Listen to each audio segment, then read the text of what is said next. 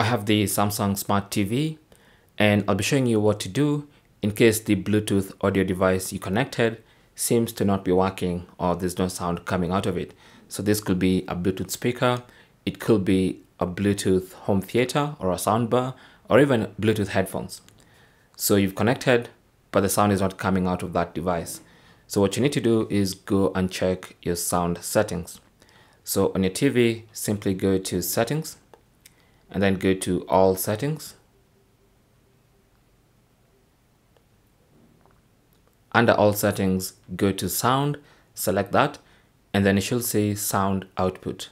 So just go ahead and select sound output, and then you might see that the TV speaker is still the default sound output device, even though I've connected these Bluetooth headphones, these AirPods. So if I want to change to my Bluetooth device, all I need to do is go to the Bluetooth device and select. And once you see that little uh, animation right there, that means that's the current active device. And then now you should listen for sound out of that device.